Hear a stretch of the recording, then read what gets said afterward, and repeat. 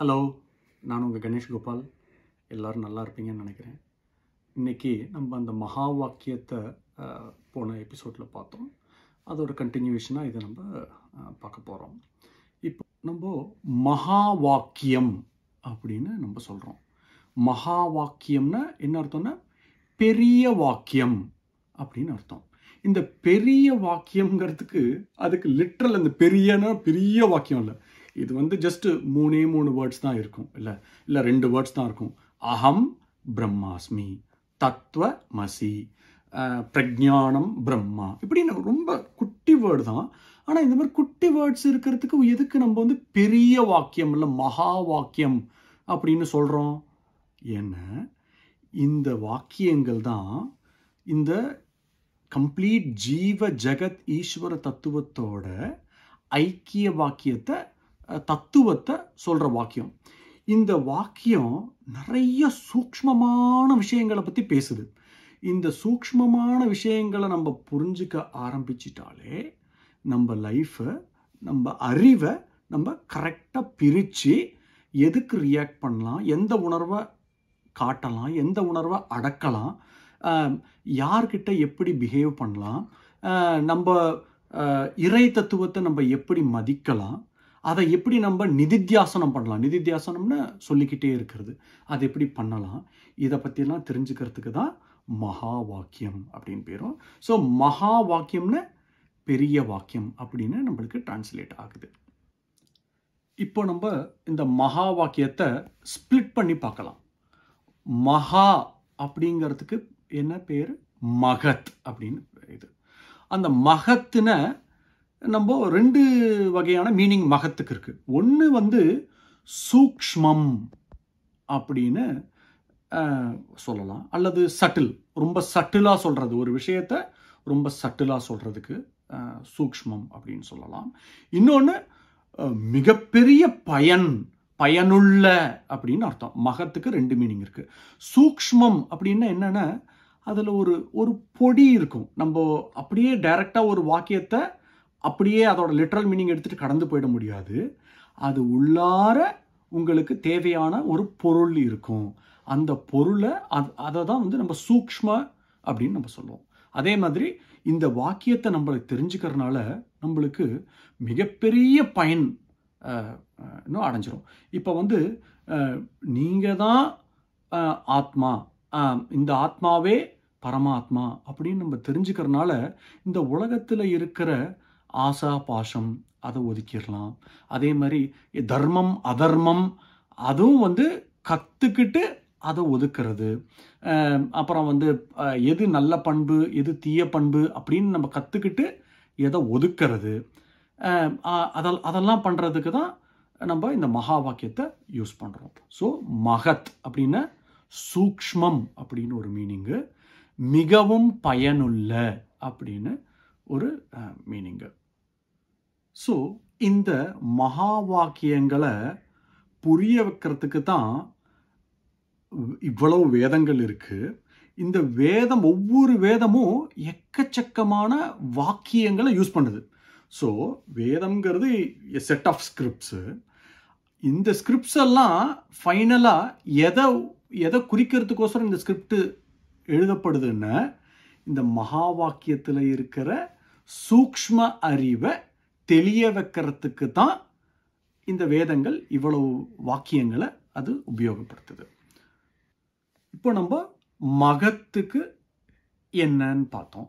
அடுத்தது நம்ம வாக்கியம் அப்படின்னு நம்ம சொல்கிறோம் வாக்கியம் அப்படின்னா பிளெயின் இங்கிலீஷில் இட்ஸ் அ சென்டென்ஸ் அப்படின்னு சொல்லலாம். ஒரு சென்டென்ஸ்னால் என்னென்னா எ செயின் ஆஃப் வேர்ட்ஸ் பல சொற்கள் சேர்ந்தது தான் ஒரு வாக்கியம்.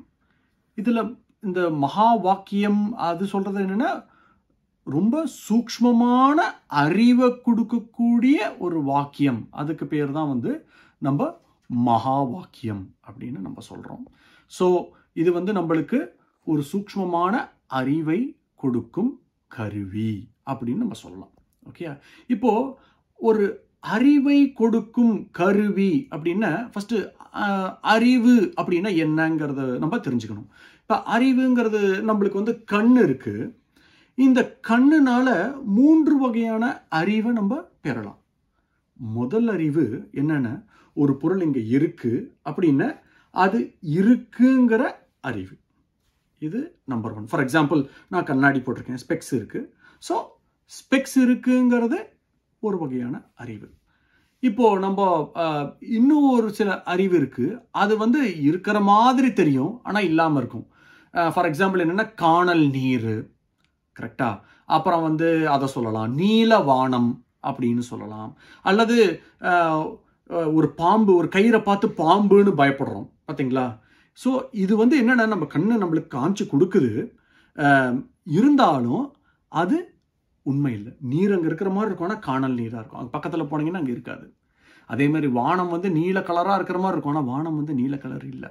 அதே மாதிரி சம்டைம்ஸ் ஒரு கயிறை பார்த்துட்டு பயப்படுறோம் பார்த்தீங்களா ஐயோ இது பாம்போ? இல்லை வேற ஏதாவதோ? அப்படின்னு நம்ம பயப்படுறோம் பார்த்தீங்களா அது வந்து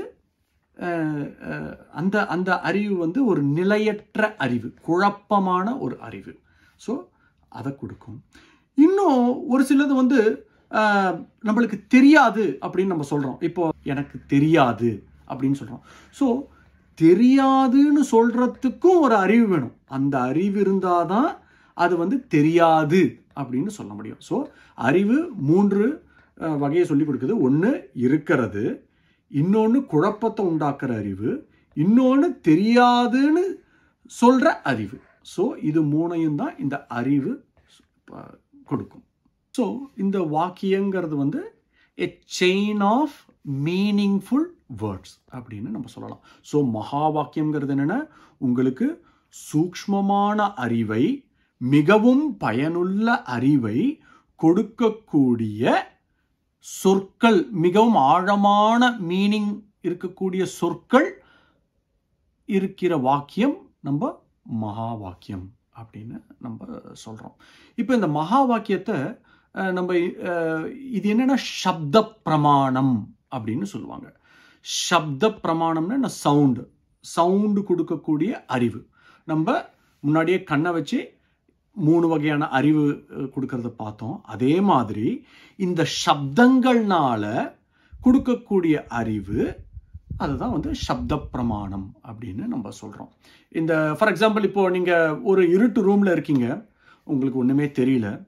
இப்போ உங்களோட ஃப்ரெண்டு வந்து சொல்கிறாரு சொல்றாரு ஓகே முன்னாடி ஒரு அஞ்சு ஸ்டெப்பு வாங்க அப்படின்னு ஒரு சப்தம் கொடுக்குறாரு. ஸோ அந்த சப்தத்தை நம்ம புரிஞ்சுக்கிட்டு முன்னாடி ஒரு அஞ்சு ஸ்டெப்பு நடக்கிறோம். சரியா? ஸோ அது தெரியற அறிவு. ரெண்டாவது உங்களுக்கு ஒரு சில மார்க்கெட்டிங்லாம் என்ன சொல்லுவாங்க? அட்வர்டைஸ்மெண்ட்லாம் பார்க்குறீங்கல்ல அட்வர்டைஸ்மெண்ட்லாம் என்ன வரும்? This the secret of my energy அப்படின்னு சொல்கிறாங்க தயவு செஞ்சு இதை வந்து ஒரு அட்வர்டைஸிங் கேம்பெயின் தான் நான் சொல்லலை. அந்த மாதிரி அதாவது ஒரு பொருளை தவறாக புரிஞ்சுக்கிட்டு அதை போய் நம்ம அறிவு ஏற்றுக்கிறது பார்த்திங்களா அந்த குழப்பமான அறிவை பற்றி தான் நான் சொல்கிறேனே தவிர அது வே வேற ஒன்றும் இல்லை. ஸோ அது வந்து ஒரு குழப்பமான அறிவு. அல்லது யா- ந- நம்ம நிறையா செய்திகளை பார்க்குறோம் ஒரு சில செய்திகள் நம்மளுக்கு தெரிஞ்சு நம்மளுக்குள்ளார போகுது. ஒரு சில செய்திகள் நம்ம நம்ம என்னதான் சொன்னாலும் அது வெறும் நம்ம உள்ளாரையே போகுது. ஸோ அதை பற்றி நம்மளுக்கு தெரியாது. ஏன்னா அந்த விஷயத்தை நம்மளுக்கு தெரியாது. ஃபார் எக்ஸாம்பிள் ஒரு சிலருக்கு பாலிடிக்ஸுங்கிறது தெரியாமல் இருக்கலாம். ஸோ நீங்கள் என்னதான் கேட்டாலும் தெரியாது அப்படின்னு சொல்லுவாங்க. ஸோ ஆனால் பட் அந்த தெரியாது இது எனக்கு தெரியாது அப்படிங்கிறதே ஒரு விதமான அறிவு. கரெக்டாக ஸோ இந்த மூணு அறிவையும் ஒரு சப்த பிரமாணம் கொடுக்குது. இந்த அறிவை நம்ம பெறனால நம்மளுக்கு நம்மளோட பாவனை வந்து ஃபஸ்ட்டு கரெக்டாக இருக்கும்.